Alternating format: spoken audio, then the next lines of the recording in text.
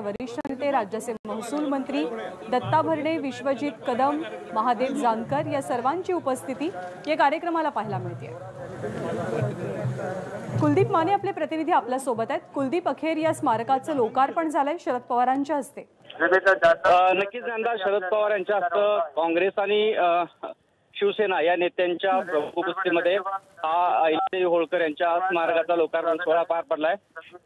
ज्या पद्धतीने आज नियोजित दौरा होता शरद पवार यांचा शिराळा करून शरद पवार सांगलीमध्ये काही वेळापूर्वी पोहोचले आणि यानंतर आता स्मारकाच्या ठिकाणी जे मुख्य स्मारकाचा परिसर आहे त्या ठिकाणी शरद पवार दाखल झालेत. या स्मारकाचं लोकार्पण केल्यानंतर स्मारकाच्या मागील बाजूची लायब्ररी आहे. त्या ठिकाणची देखील शरद पवार आणि काँग्रेस शिवसेनेचे मंत्री त्याशिवाय सांगलीचे पालकमंत्री जयंत पाटील हे सगळे पाहणी करतील आणि अगदी स्मारकाच्या बाजूलाच जो स्मारक लोकार्पण सोहळा कार्यक्रम आयोजित केला गेलाय त्या सोहळ्याला थोड्याच वेळात सुरुवात होईल. या स्मारकाच्या लोकार्पणावरनं बराचसा वाद सुद्धा झालेला होता. स्मारकाचं जेव्हा आता उद्घाटन होतं आहे काय वैशिष्ट्य आहेत या स्मारकाची? ज्या पद्धतीने सांगितलं जाते महाराष्ट्रामधील हे पहिलं असं इतकं मोठं अहिल्यादेवी होळकर यांचं स्मारक आहे. दोन अडीच अडीच एकरामध्ये हे स्मारक पसरलेलं आहे. त्याशिवाय भव्य अशी लायब्ररी या स्मारक स्मारक परिसरामध्ये आहे.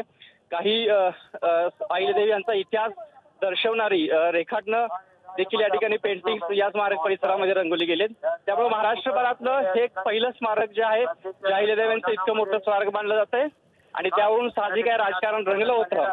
मात्र ज्या पद्धतीनं शासकीय कार्यक्रम सांगितला गेला होता की दोन एप्रिल रोजी होईल.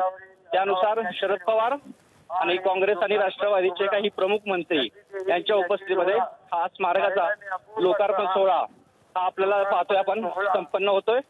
अनेक शिवसेना काँग्रेस राष्ट्रवादी यासह काही जिल्ह्यातील देखील सर्व प्रमुख पक्षातील नेते या ठिकाणी उपस्थित आहेत. आणि आपण पाहतोय आता जो स्मारकामधील मुख्य जी देवींची मूर्ती आहे त्या मूर्तीचं लोकार्पण आपण पाहतोय अनावरण झालेलं आहे. आणि अगदी काही वेळातच शरद पवार मुख्य जो व्यासपीठ आहे स्मारक परिसरामध्ये त्या ठिकाणी दाखल होतील. कुलदीप धन्यवाद या माहितीबद्दल. तर अहिल्याबाई होळकर यांचं महाराष्ट्रातलं हे स्मारक आहे भव्य दिव्य स्मारकाची निर्मिती करण्यात आली आहे. शरद पवार यांच्या हस्ते या स्मारकाचा लोकार्पण सोहळा पार पडलाय. राज्य सरकारमधले अनेक मंत्री या कार्यक्रमासाठी उपस्थित आहेत.